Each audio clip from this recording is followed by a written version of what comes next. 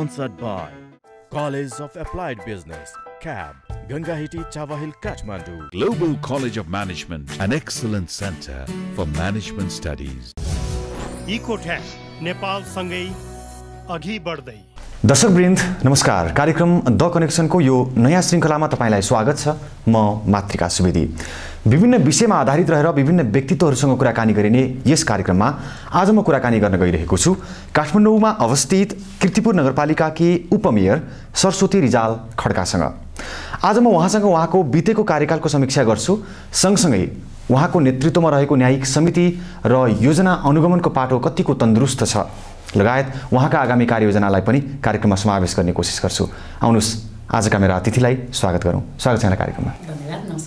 भूमिकामा मैले बाँधे अनुसार बितेको झन्डै पाउने तिन वर्ष हुन लाग्यो होइन? यसमा आफ्नै कार्यकाललाई समीक्षा गर्नुपर्दा या सम्झिनु पर्दा कस्तो अनुभूत हुन्छ? बितेको कार्यकाल हाम्रो जुन पाउने तिन वर्ष बितेको छ यसलाई समीक्षा गरेर हेर्ने हो भने जुन हामी निर्वाचित भएर आएको थियौँ त्यसको एक वर्षको अवधि भनेको जुन हाम्रो प्रदेश र प्रतिनिधि सभाको निर्वाचन पनि थियो चुनावी वर्ष पनि रह्यो। त्यो सँगसँगै हामीसँग स्थानीय निकाय रहिरहेको जुन यो कर्मचारी प्रशासन संयन्त्र छ त्यो पनि स्थानीय निकायमा काम गरिरहेको थियो स्थानीय तहमा आउनु पऱ्यो र हामी मात्र नयाँ थिएनौँ कर्मचारीका लागि पनि यो नयाँ कुरा थियो। प्रशासन तहको लागि पनि नयाँ कुरा थियो। त्यो हुँदाखेरि हामी नयाँ नै थियौँ र केही कुराहरू हामी सिक्नको लागि पनि समय लाग्यो। र त्यो सँगसँगै हामीसँग जुन स्थानीय सरकार सञ्चालन ऐन पनि केही समय पछि बनेको थियो।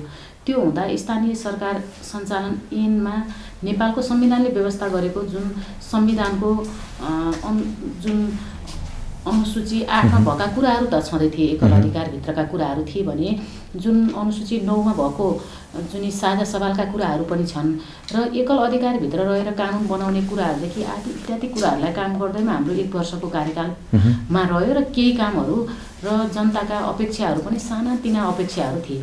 त्यो अपेक्षाहरू पुरा गर्ने क्रममा नै हामी निर्वाचित भएको एक वर्षको कार्यकाल हाम्रो त्यसरी बितेको थियो भने पछिल्लो समय दोस्रो वर्षमा हामी आइसकेपछि हामीले फरक ढङ्गबाट हामी अगाडि बढेका थियौँ र हामीले अब हामी कसरी अगाडि जानुपर्छ र हामीले लिएको जुनसुकै पार्टीबाट निर्वाचित भएर आए पनि हामीले पार्टीको जुन घोषणापत्र बोकेका थियौँ घोषणापत्रको आधार योजना बजेट कार्यक्रम योजना बनाउने जुन दिग्दर्शन छ दिग्दर्शन अनुसार र जुन चाहिँ नि दिगो विकासको लक्ष्य जुन छ।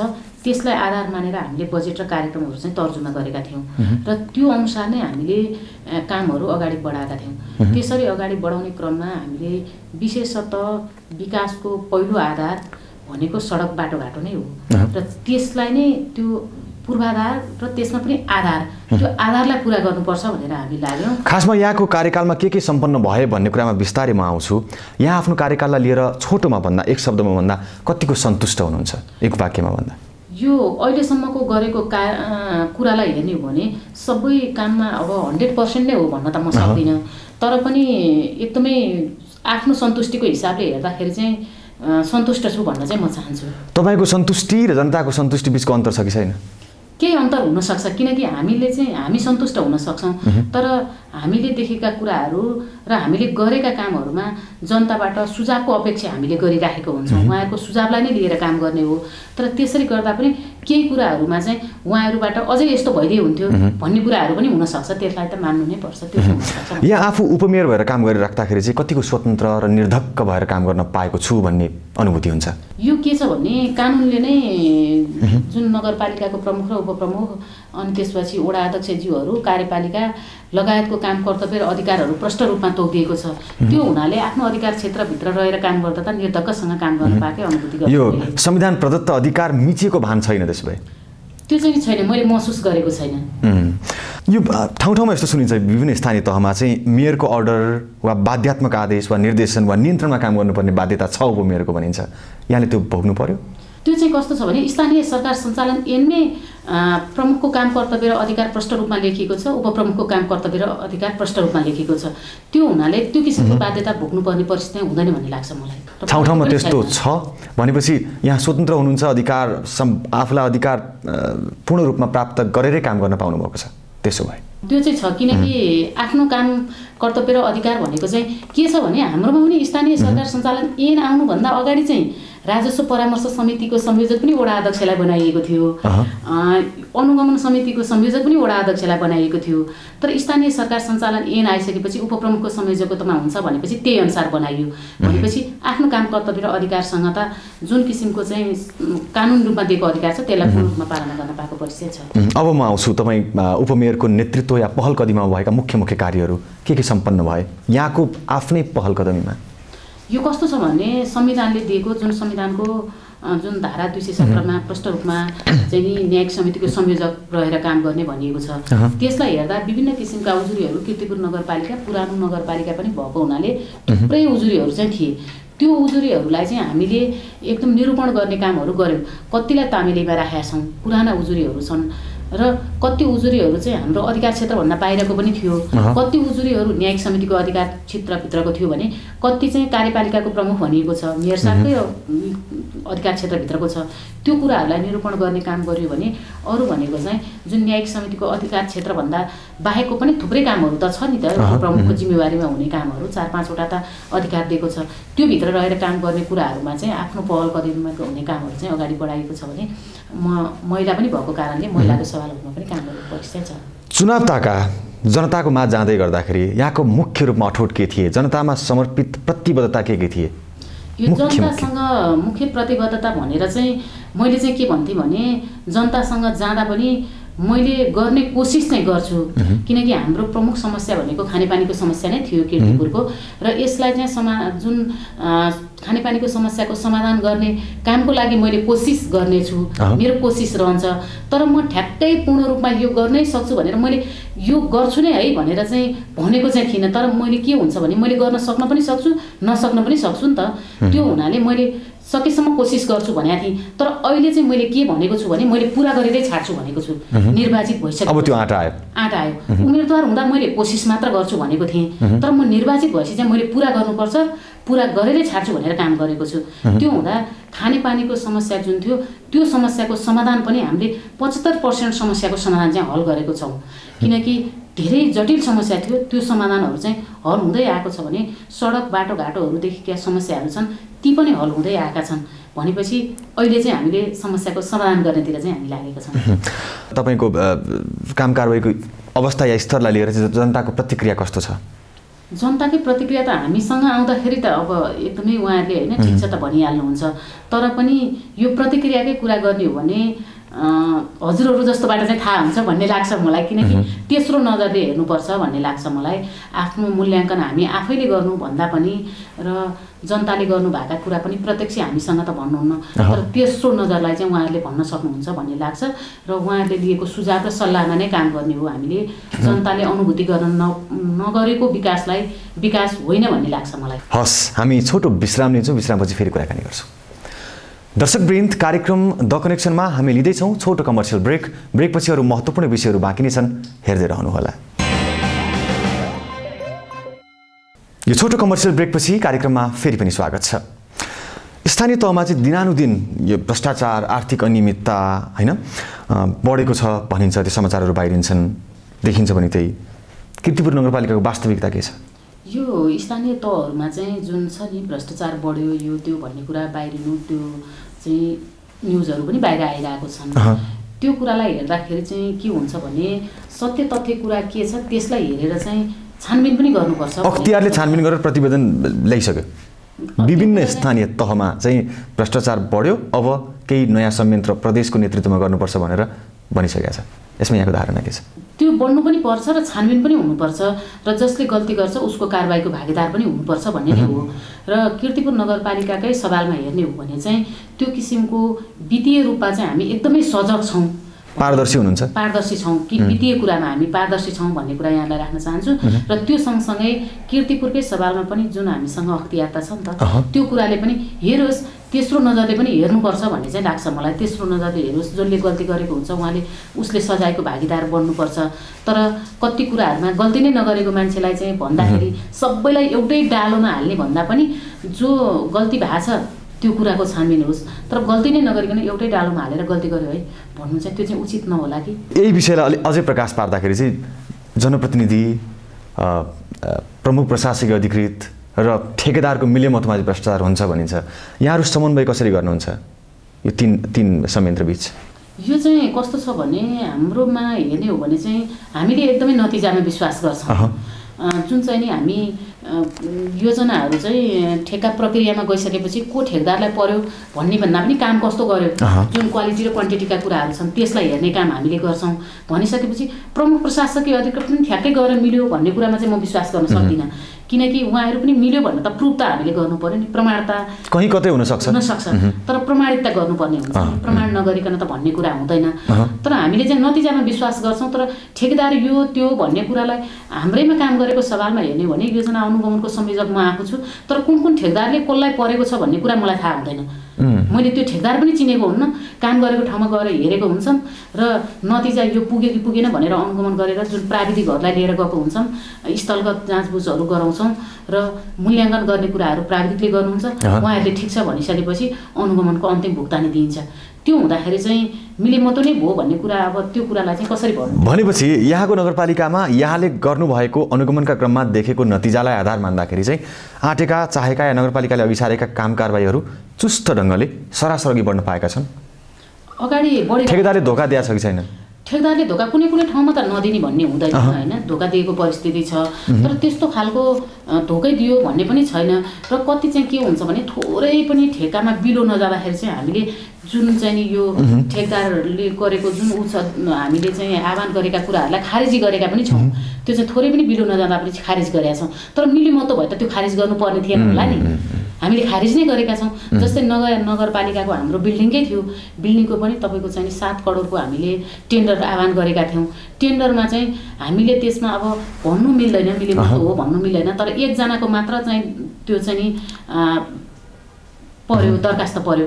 परिसक्दा परि एकजनाले गर्दा र बिलो नजाँदाखेरि चाहिँ हामीले त्यो चाहिँ हाम्रो नगर प्रमुखज्यूले नै हामी निर्णय गऱ्यौँ कार्यपालिकाले निर्णय गऱ्यौँ नगर प्रमुखज्यूले ल भन्ने हिसाबले नियमसँग ढङ्गबाट नै- ढङ्गबाट नै खारेजी गरियो।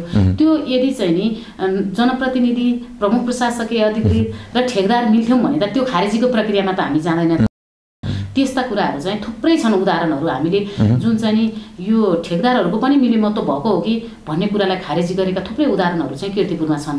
त्यो हिसाबले चाहिँ हामी एकदमै प्रष्ट छौँ भन्न चाहन्छु। भनेपछि आर्थिक अनियमितता छैन भ्रष्टाचार छैन अपारदर्शिता छैन भन्ने कुरामा किर्तिपुरका जनता ढुक्क हुँदा भयो। एकदमै ढुक्क हुँदा हुन्छ भन्ने लाग्छ मलाई। ढुक्क हुनु पनि पर्छ र हामी भनेको एकदमै खुल्ला किताब। हो। हामी जनप्रतिनिधि भनेको खुल्ला किताब हो जसले पढ्दा पनि सक्ने हुनुपर्छ। नबुझिने अक्षर त होइन नि खुला किताब भए पनि। होइन होइन। त्यस्तो होइन। एकदमै खुल्ला रूपले चाहिँ नि अध्ययन गर्न सकिने हुनुपर्छ र यदि कहीँ कतै शङ्का लाग्छ भने छानबिन पनि हुनुपर्छ भन्ने लाग्छ मलाई। अब यहाँ स्थानीय तहको अ, किर्तिपुर नगरपालिकाको न्यायिक समितिको संयोजक हुनुहुन्छ। होइन? कतिको स्वस्थ छ न्यायिक समिति अथवा न्याय निरूपणको पाटो कतिको स्वस्थ छ? यो चाहिँ कस्तो हुन्छ भने न्यायिक समिति बनेको छ स्थानीय तह। यो किर्तिपुरकै सवालमा मात्र होइन भन्ने लाग्छ मलाई। न्यायिक समितिभित्रको पनि अधिकार क्षेत्रहरू त छन् नि त। मुद्दाहरू जुन मेलमिलाप जुन स्थानीय सरकार सञ्चालनको दफा छयालिसको क र खमा छ होइन त्यो हुँदाखेरि चाहिँ कुनैमा चाहिँ मेलमिलापबाट मात्र भनिएको छ कुनैमा निरूपण गर्न सक्ने भनिएको छ।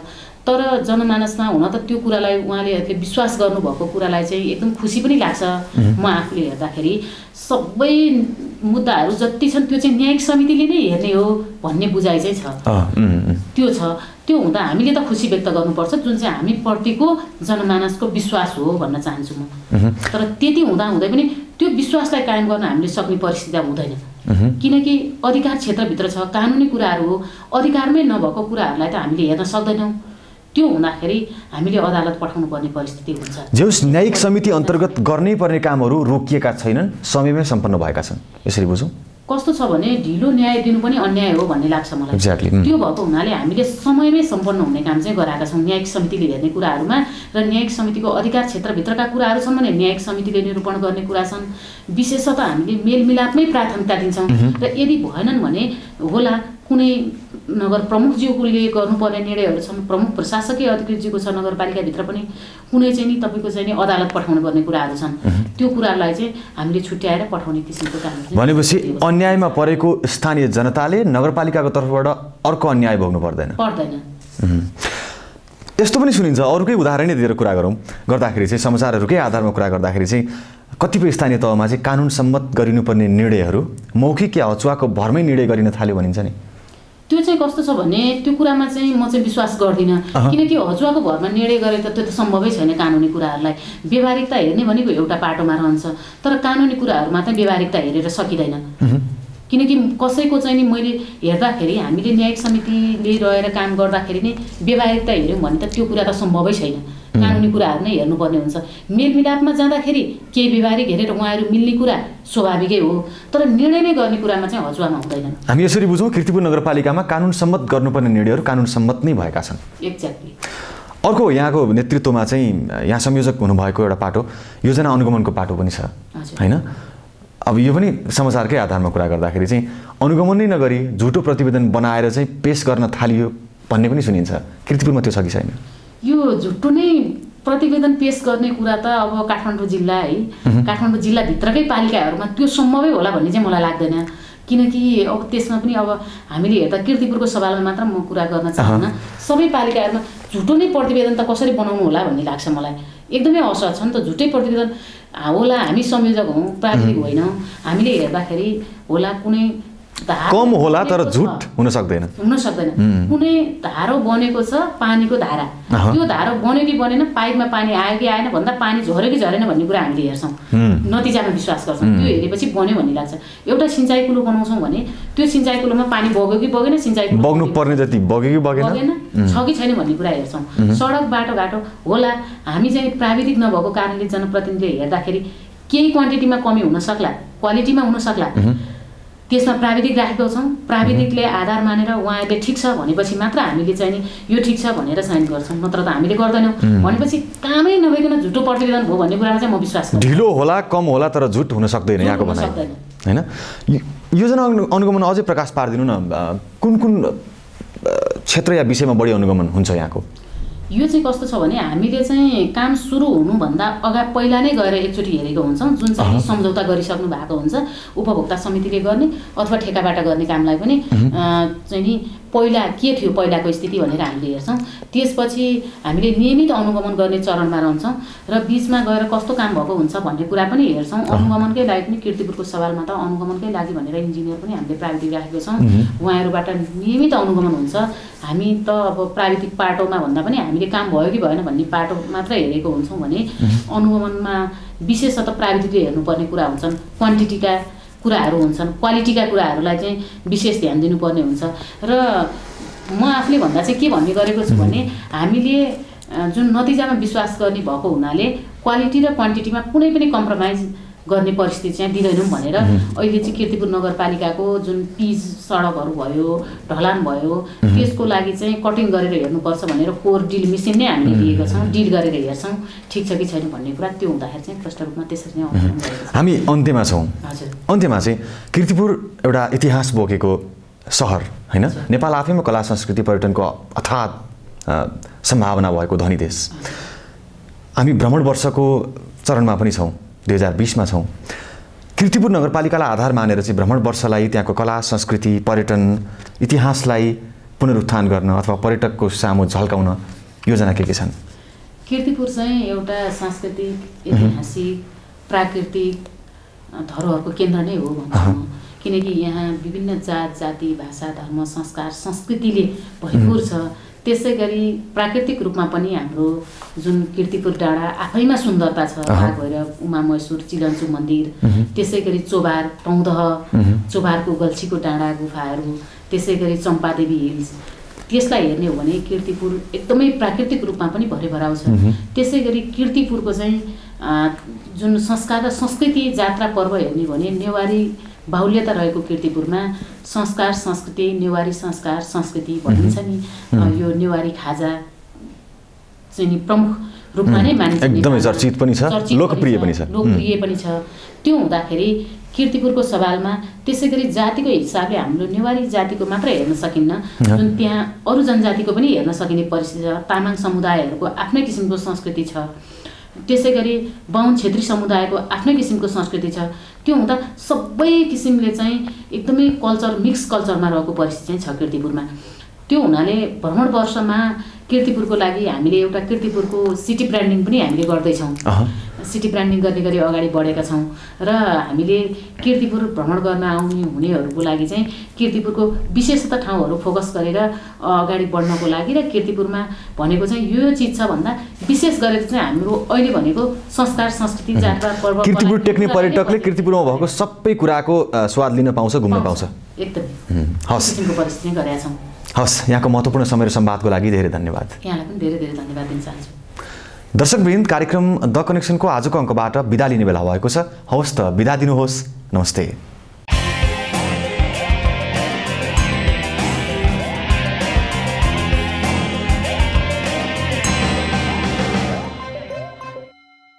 Sponsored by College of Applied Business, CAB, Gangahiti Chavahil, Kathmandu. Global College of Management, an excellent center for management studies. इकोट्याक नेपालसँगै अघि बढ्दै।